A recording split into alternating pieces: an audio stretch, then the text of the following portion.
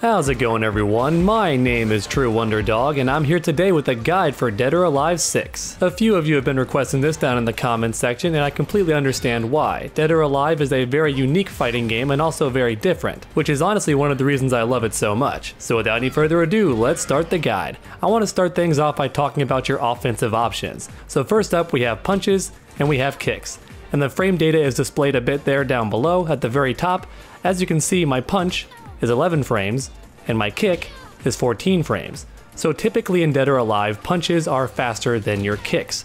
However, kicks tend to have much better range.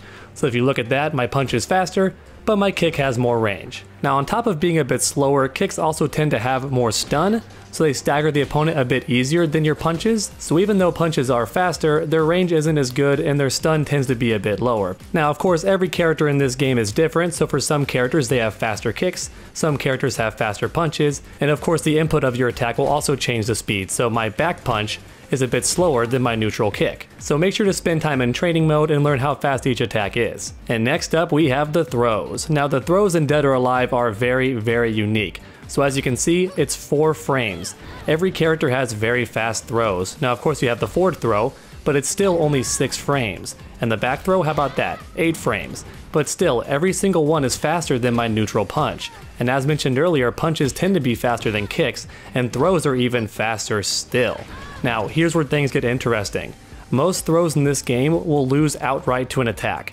So even though this punch is slower, if I'm in the process of punching you, your throw will not work. It will whiff completely if I'm attacking you. Now there are exceptions to this rule which are called offensive holds. So for example, Tina has one, it's forward forward throw. So if the opponent tries to attack me during that throw, my throw will win as long as it connects first. However, most of the time, throws will lose outright to any other attack, even though they are very, very fast. Now you might be wondering, well, does it matter how fast it is if it loses to every attack? Well yes it does, because for example if I'm playing Tina and I do a risky low attack like this, and you block it, you can do a crouching throw to punish me every single time, because that throw is very, very fast. So if you're not always sure what your fastest punish option is, a throw is a great option because it starts up so quickly. So even though throws typically do lose to attacks, they're great for punishing anything unsafe the opponent does. And in this case, anything unsafe would be minus 4 or more. So for example, I'll have Mila block real quick, just in case some of you aren't quite sure what safe and unsafe means. So I currently have Mila doing a standing guard. So if I did say a hop kick, up forward kick, as you can see it's minus 12 on block.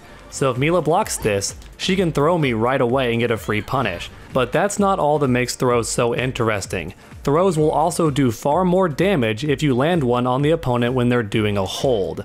So there are a bunch of holds in this game, right, that I'll go over a bit more in the defensive section. But basically, holds are great for escaping block strings, or even if you're being comboed, a hold can sometimes save your booty. So for example, if I did back punch, punch, punch, she can hold me because she knows that mid punch is coming. She's a very skilled player, you see. However, now I know that Mila likes to do holds, right? She's gonna try and escape this string by holding every single time. So now instead, I'm just gonna do the one punch, and then when she tries to hold, I'm gonna throw her. Now check out the difference in damage here. So here's my standard forward throw. 6 frame startup, 58 damage, not too shabby. But now look at how much damage it does during a hold It's to do a lot more. 92, so almost double the damage. And Tina has some crazy damaging throws in this game. In fact, in one of my ranked matches, I landed her most damaging throw when the opponent tried to do a hold, and it does 50% damage, so half the health bar just gone because the opponent tried to hold and escape a combo. Now that's quite a lot to take in, so let's go ahead and do a brief summary real quick. Punches are typically faster, Kicks are a bit slower but have better range, throws are the fastest, but most of them will lose to attacks except for offensive holds. So offensive holds will actually beat attacks, but they're a bit slower than your standard throw. And lastly, throws will always do more damage if done when the opponent's trying to hold to escape your combo. That's basically offense in a nutshell in Dead or Alive. So next up, let's talk defense. So let's start off with standard blocking. Now Dead or Alive does have a block button, which is 1 on the controller, so it's square, or I believe X on the Xbox controller. I'm not sure what it is on the Switch, I apologize for that, but thankfully you don't have to use a button to block, you can just walk backwards, or down back to block low. And of course, if you want to block low, you can also hold the button and crouch. That will also block low. So to block high attacks and mid attacks, you just block standing. To block low attacks, you crouch. Now keep in mind while crouching, mid attacks will blow you up. So this, for example, would catch you trying to crouch. This would also catch you trying to crouch. So crouching is typically not what you want to do in 3D fighting games. You almost always want to block standing, but if you know a high attack is coming, you can duck under it. Or if you know the opponent's going to go for a low, you can block low and almost always punish it with a low throw. However, here's where things start to get really interesting in Dead or Alive, and that's the holds. As mentioned earlier, holds can be good for escaping combos or even escaping the opponent's block pressure. So this game has four different holds by default. So you have the mid hold, which will catch mid punches, that's just back and hold. However, this will not catch mid kicks. If you want to catch a mid kick, you have to do forward and hold. Then you have the high hold. This will catch high kicks and high punches, that's up back hold. And then for low attacks, you have the low hold, which is down back hold. And those are your basic hold options, however some characters have unique holds that do even more damage. So for example, if I know that Mila's gonna do a mid kick, then I can just do a regular mid hold. Against kicks of course, so that's forward and hold. Pretty solid amount of damage. However, Tina actually has a back forward hold that also works on mid kicks. And if I land this, I get way more damage. And to make things even better, I leave the opponent standing, which means no wake up attacks for them. So even though every character has access to the same four holds, some characters have unique holds that do even more damage and can be good for screen positioning or setups. So next let's talk about wake up attacks. So if the opponent knocks you on your butt, you have two different options. You have a regular wake up kick or a low wake up kick. So I'm gonna go ahead and have Mila throw me to make sure I'm on the ground, and if I press kick, Bam, I get a big fast rising mid kick. Now I didn't quite have the range there, but if Mila chose to run up on me, then it would have connected just fine. And then you also have a low wake up kick. To do a low wake up kick, you just hold down and then press kick. Now keep in mind both these wake up options are fully invincible during the animation, so if Mila tried to do any attack at all there, she would have lost. However, keep in mind both these wake up options are minus on block, so if the opponent does block correctly, it's now their turn to attack you, and to make matters even worse, they could always go for a hold and then get a lot of damage on you. So sometimes you don't want to wake up with an attack, you just want to wake up in a certain direction. So for example, I'm going to have Mila knock me down, and if I press back hold, I get up backward. If I press forward and hold, then I move forward when I get up. And of course the same is true for going up or down. So up and hold, I go that way. If I press down and hold, I go towards the camera. So on top of the two wake up attacks, you can also get up in four different directions.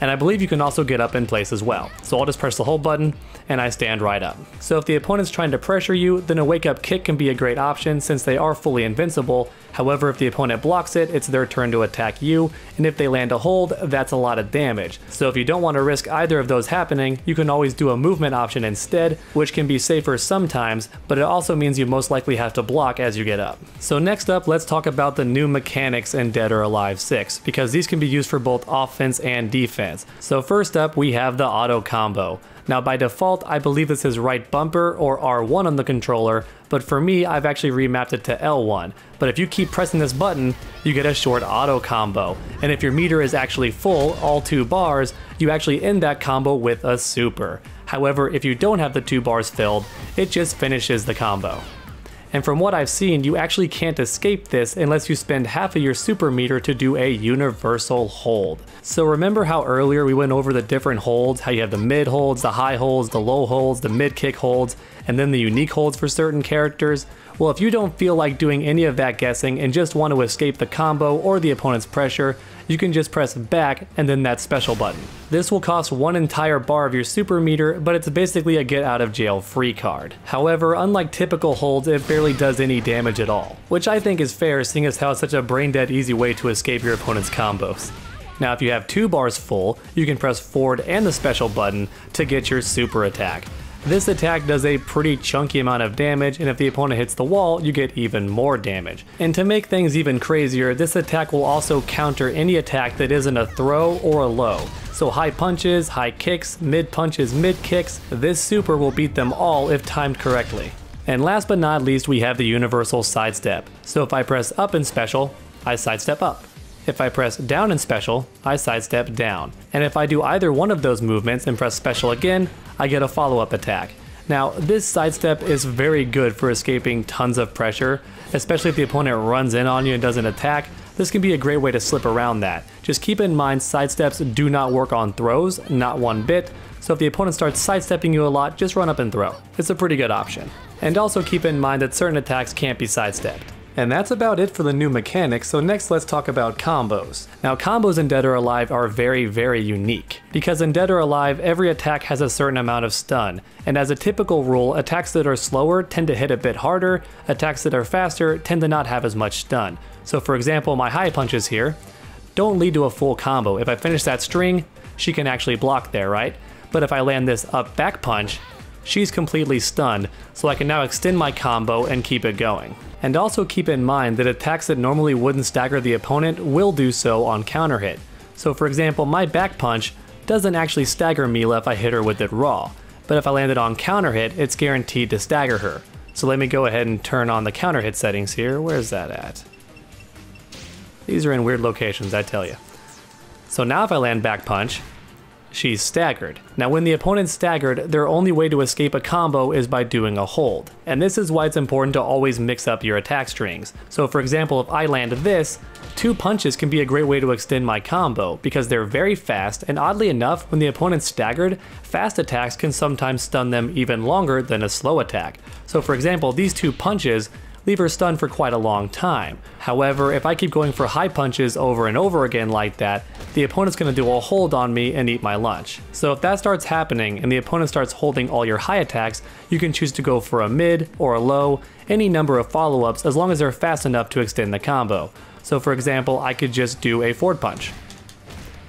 Had the opponent done a high hold there, it wouldn't actually work.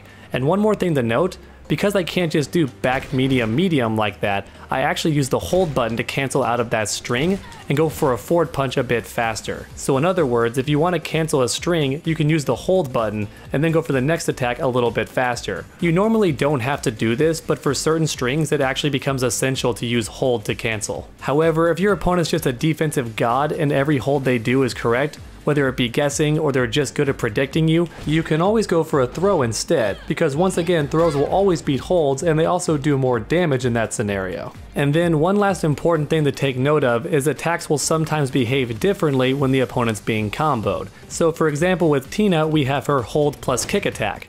Normally this attack just staggers the opponent, but if I do it on the opponent after they're staggered, it actually launches them, and it also does this on counter hit as well. And that's typically how things tend to work in Dead or Alive. However a move behaves on counter hit is likely how it's going to behave during a combo, as long as you don't start the combo off with it. And unfortunately, this can be very confusing for beginners because you think, man, this hold plus kick has a lot of stun. Let me use it to extend the combo, but nope, it launches them high into the air. So that's going to happen quite a lot to you when you start out playing Dead or Alive. You're going to be playing online and think, oh, I'm going to use this move to extend the combo, only to learn that it knocks the opponent away during a combo, or maybe it launches them, or maybe it knocks them down. But after playing for long enough, you'll learn what every attack does on regular hit, or during counter hit, or during a combo. And that's honestly about it for the guide everyone. Once again, Dead or Alive is a very unique and very different fighting game, but at the same time that just makes it stand out from the crowd. Hopefully this short guide gave you a better understanding of how to play the game. If it did, then please leave a like down below, it really does help my channel out a ton. And please request which guides you want to see in the future. And then finally, why not keep that combo going by subscribing and ringing that bell. That way you never miss a future video. Make sure to come back next time, and as always, stay underdogs.